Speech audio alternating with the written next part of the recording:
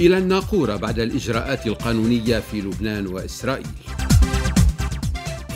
بايدن مهنئا فرصة للبنان لاستعادة الاستثمارات الأجنبية. الاتفاق أمام الحكومة الإسرائيلية والكنيست اليوم.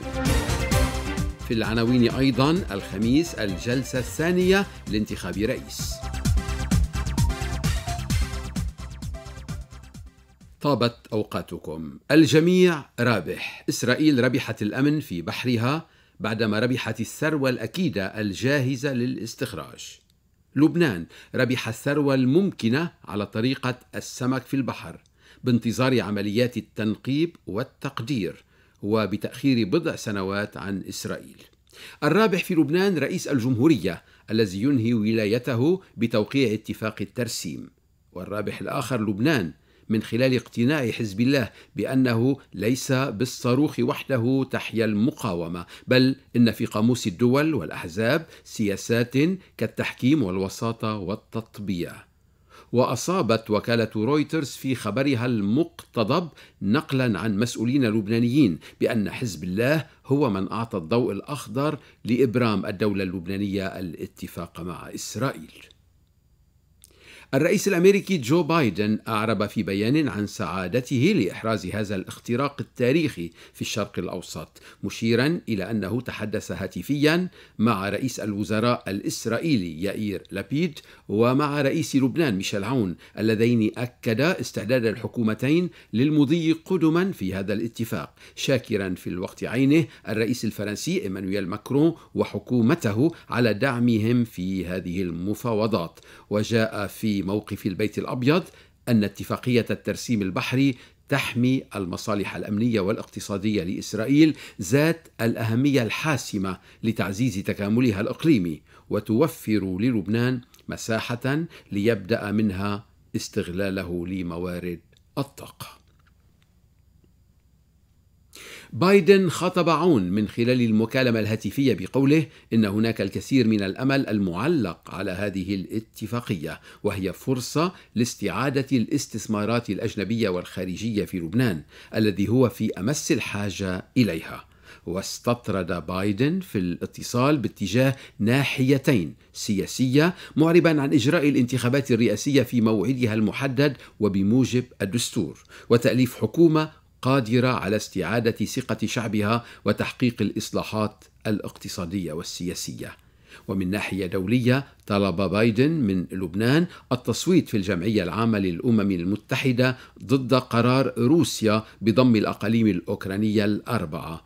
الأمر الذي استدعى اجتماعا في بعبدة ضم إلى رئيس الجمهورية رئيس الحكومة ووزير الخارجية. وتقرر إبلاغ بعثة لبنان في الأمم المتحدة التصويت ضد قرار الضم الروسي. ويتوجه رئيس الجمهورية بكلمة إلى اللبنانيين للإعلان عن الإنجاز قبل أن يشكل الوفد العسكري الذي من المفترض أن يتوجه إلى الناقورة في الأسبوع الأخير قبل نهاية الولاية للتوقيع غير المباشر على الاتفاق برعاية أمريكية دولية. السفيرة الأمريكية دوروثي شاي شددت على أن اتفاق ترسيم الحدود البحرية بين لبنان وإسرائيل سيوفر فرصة لتطوير حقول الطاقة لصالح كلا البلدين لبنان وإسرائيل ويمكن لبنان بأن يتطلع إلى تسخير موارد الطاقة الجديدة الحيوية وتمهيد الطريق أكثر نحو وضع مستقر ومزدهر يعزز الاستثمار الأجنبي. وأكدت أنه سيكون من المهم الآن أن تفي جميع الأطراف بالتزاماتها وتعمل على تنفيذ هذه الصفقة مرة أخرى. As President Biden announced in a statement just a short time ago, I am pleased to address you tonight following an historic breakthrough regarding demarcation of the maritime border between Lebanon and Israel. After months of mediation by the United States, led by Special Presidential Coordinator Amos Hochstein, the governments of Lebanon and Israel have agreed to formally end their maritime boundary dispute and establish permanent maritime boundary between them. President Biden spoke today with President Aoun and Prime Minister Lapid, who confirmed their readiness to move forward on this historic agreement. In his phone call with President Aoun, President Biden offered his congratulations. And it is my distinct honor to also congratulate the people of Lebanon and to address you on this issue. I should begin by expressing to all those involved our profound gratitude starting with President Aoun and his team, Speaker Berry and his principal advisor. في المقلب الإسرائيلي اتصال الرئيس الأمريكي برئيس الوزراء يائير لبيد أسفر عن جملة نتائج بينها. أولا من الجهة الإسرائيلية ضمان موافقة المجلس الوزاري الإسرائيلي المصغر والحكومة على الاتفاق وإحالته على الكنيست للاطلاع عليه. وبالتالي هناك موعدان مهمان اليوم في إسرائيل، الأول موافقة الحكومة الأمنية المصغرة والحكومة الموسعة على الاتفاق، والثاني قرار رئيس الكنيست ميكي ليفي بطرح الاتفاق في جلسة للكنيست. ثانيا من الجهة الأمريكية إعلان إسرائيل أنها ستحصل من واشنطن على رسالة ضمانات تقضي بالتزام الولايات المتحدة بحقوق إسرائيل الأمنية والاقتصادية إزاء أي احتمال لخرق الاتفاق من قبل الجانب اللبناني وتحديدا حزب الله. واعتبار خط الطفافات هو خط أمني لإسرائيل وكذلك منع عائدات حقل قانا من الوصول إلى حزب الله. الترسيم وطلب واشنطن التصويت في الجمعية العامة للأمم المتحدة على قرار برفض الاعتراف بضم روسيا المناطق الأوكرانية الأربع قادا الرئيس نجيب ميقاتي إلى بعبدة في احتفالية غيبت الفشل في تأليف الحكومة وانتخاب رئيس للجمهورية. هالمسكرة فخامة الرئيس عم بصير قراءة قراءة أخيرة قراءة أخيرة. عم بي آه، عم بيطلع علي فريق العمل. في بعض دقائق صغيرة بس مبدئيا منتهية هي موضوع الترجمة للعربي لحتى نشوفها بالعربي بس باللغة الإنجليزية. في وفاق كامل عليها. ففخامة الرئيس بعتقد حيطلع عليكم آه، أو بكرة أقصى حد لحتى يبشر اللبنانيين بهالمرحلة. وانتهينا من مرحلة كانت حقيقة صعبة وإن شاء الله تكون مرحلة خير للبنان. الأمين العام لحزب الله السيد حسن نصر الله أعلن أنه ينتظر الموقف الرسمي من حكومة إسرائيل ولو أن رئيس الحكومة أعلن موافقته لكن تبقى موافقة الحكومة. نحن أمام أيام حاسمة. اليوم أقول نحن أمام ساعات حاسمة. الجهة المعنية بالتعبير عن الموقف الرسمي اللبناني هو فخامة الرئيس العماد ميشيل عون. بعد التوافق والتشاور مع دولة الرئيس ودولة الرئيس هم الجهة المسؤولة. مش أنا ولا غيري الجهة اللي بتطلع بتقول لبنان وافق على هذه هذا النص النهائي أو لم يوافق على هذا النص النهائي أو ما اللحظة التي يذهب تذهب فيها الوفود لتوقع في الناقورة كما هو مفترض بالآلية المتفق عليها بعد أن يحصل هذا التوقيع نستطيع أن نقول هناك اتفاق حصل. نحن يجب أن نحتاط لأنه في واحد ممكن يبطل يغير رأيه بأي ساعة بأي لحظة. وما جرى في الأيام القليلة الماضية كما يقول المفاوضون اللبنانيون كانت مفاوضات صعبة وعسيرة لأنه كان في اختلاف على نقاط معينة ومحددة. نحن منذ البداية قلنا نحن نقف إلى جانب وخلف الدولة اللبنانية في موضوع المطالب اللبنانية. ما يهمنا عندما يقول المسؤولون اللبنانيون في الدولة اللبنانية أن هذا التفاهم أو هذا الاتفاق يحقق المطالب الرسمية للدولة اللبنانية؟ بالنسبة لنا تمام ما عندنا مشكلة. رئيس التقدم وليد جنبلاط غرد كاتبا أما وقد تم الترسيم بدون حرب والفضل يعود إلى أهمية الدبلوماسية التي أوصيت بها والتي تستند إلى القوة الناعمة للمسيرات. يبقى الأهم لبنانيا أن تشكل الشركة الوطنية بعيدا من أي وصاية محلية وبعيدا من شركات النفط الوهمية التي شكلت.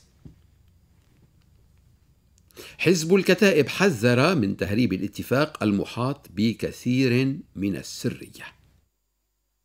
رأى حزب الكتائب أن توقيع اتفاق استخراج النفط بين لبنان وإسرائيل لن يشكل سقى براءة للمنظومة الحاكمة التي أمعنت في إفقار اللبنانيين وإدخالهم في الأزمات المتتالية وهي لا تملك الحق بتمنينهم بأنها حققت لهم انتصارا تاريخيا من شأنه محو أخطائهم وارتكاباتهم. ويعيد الكتائب التأكيد أن الاتفاق الذي فاوض عليه حزب الله وحلفائه من دون إطلاع ممثلي الشعب اللبناني عليه لا يجوز أن يهرب تهريبا بل لابد من إحالته إلى مجلس النواب الذي تناط به الموافقة على هذا النوع من الاتفاقات بالاستناد إلى المادة 52 من الدستور. في الاستحقاق الدستوري يواصل حزب الكتائب الجولات التشاورية مع مختلف الكتل النيابية التي تسعى إلى إيصال رئيس إنقاذي وجدد التزامه وسعيه لانتخاب رئيس يملك تصورا واضحا لكيفية مقاربة كل الملفات ويملك الجرأة الكافية لوضعها على طاولة البحث من دون مماطلة أو تهرب من المسؤولية. مواقف الكتائب جاءت خلال اجتماع المكتب السياسي الذي انعقد برئاسة رئيس الحزب. الحزب النائب سامي الجميل وحضر الاجتماع الكتائبيون والأصدقاء الفائزون في الانتخابات التي جرت في كل من نقابتي المعلمين وخبراء السير إضافة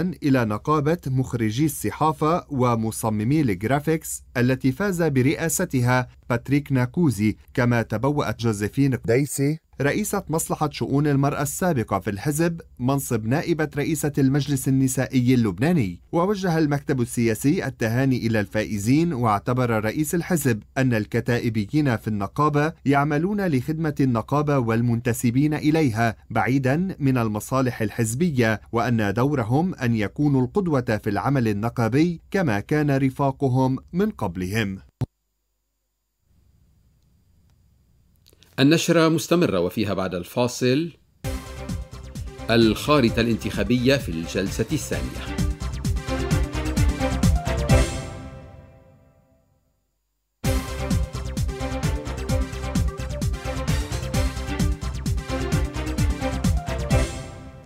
غدا الخميس الجلسة الثانية لانتخاب رئيس للجمهورية. المعاون السياسي للرئيس نبيه بري النائب علي حسن خليل كشف أن فريقه على تواصل مع البطريرك الماروني بشار الراعي ودوره أساسي في هذه المرحلة ولديه الرغبة كالرئيس بري بالتوافق لانتخاب رئيس للجمهورية. مشيرا إلى أن موقف حزب الله واضح بأنه حريص على إيجاد تفاهم بين جبران باسيل وسليمان فرنجي كاشفا عن أن أمل لن تنتخب انتخب باسيل رئيسا للجمهورية.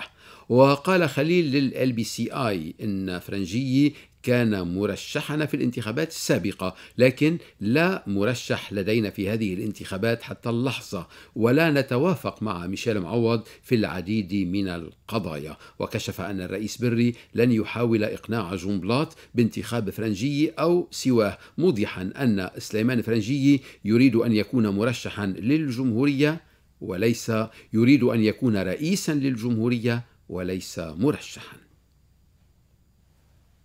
في الصيف استقبل رئيس الكتائب النائب سامي الجميل رئيس حزب الحوار الوطني النائب فؤاد مخزومي وكان تأكيد على توحيد الجهود لإيصال رئيس سيادي إصلاحي يملك القدرة على الإنقاذ ولديه رؤية واضحة لحل الأزمات التي يمر فيها لبنان وتحسين الوضع الاقتصادي ووضع حد للتدهور المالي الحاصل واستعادة علاقات لبنان مع دول العالم.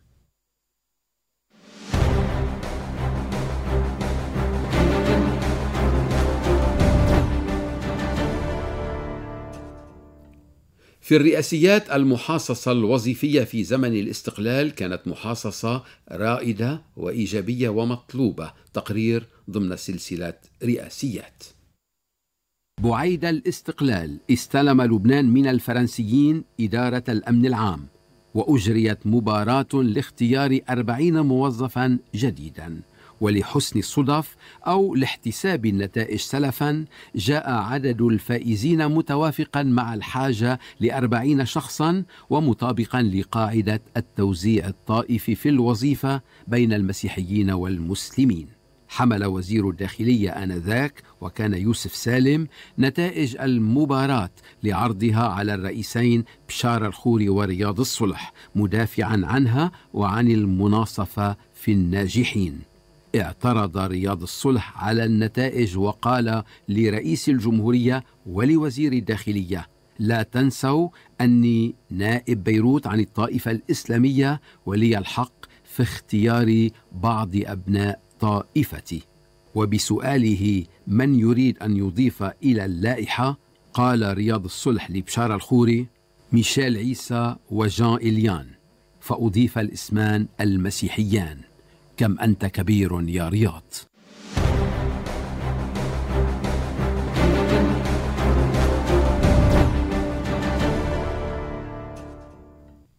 بعد الفاصل. بايدن يستبعد استخدام بوتين السلاح النووي.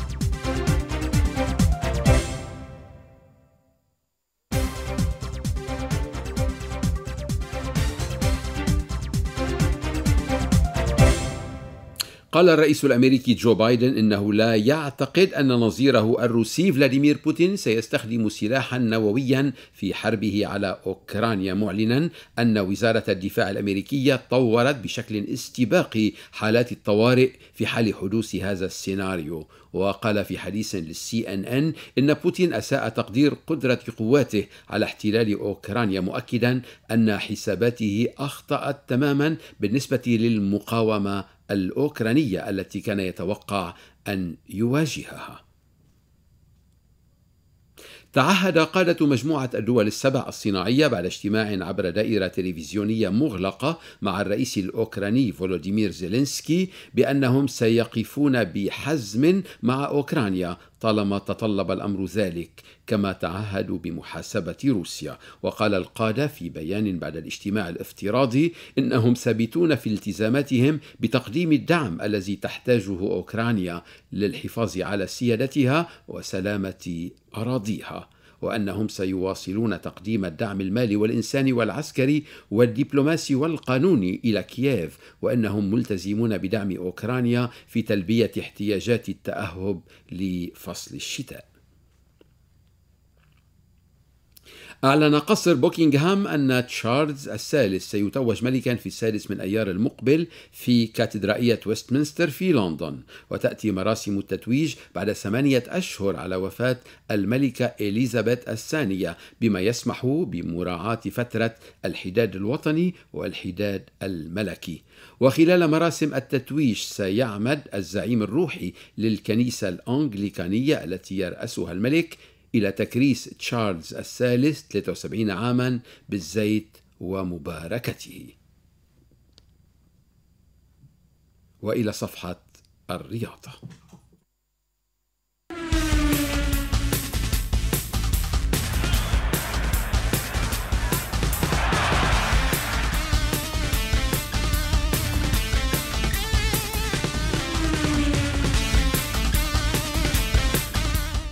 بداية أخبارنا الرياضية ببطولة الأندية العربية لكرة السلة.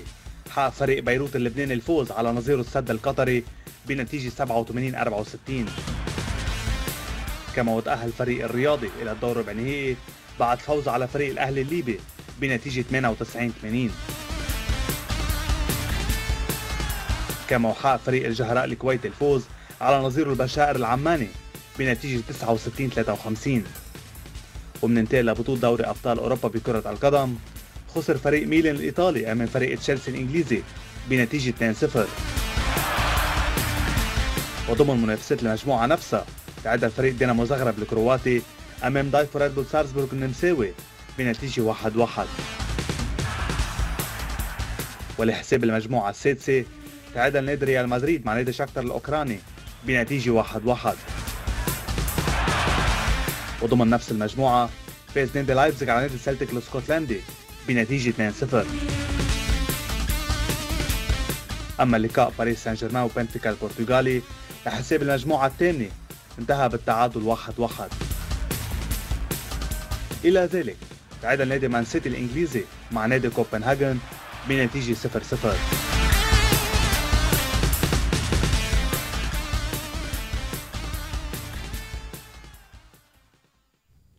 ختاما الأحوال الجوية.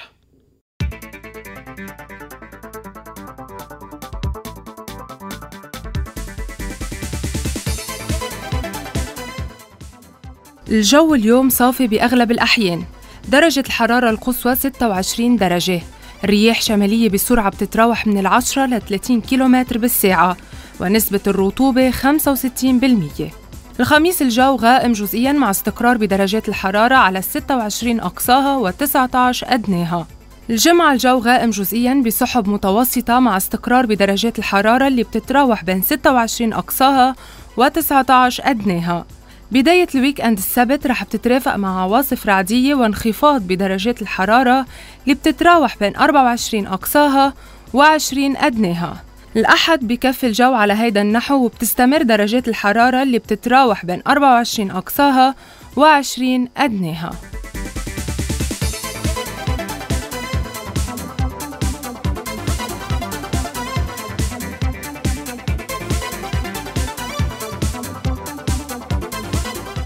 النشرة انتهت. تابعونا عبر موقعنا vdl.me ومواقع التواصل Voice of Lebanon 100.5 وعلى الأبليكيشن. أسعدتم أوقاتا وإلى اللقاء.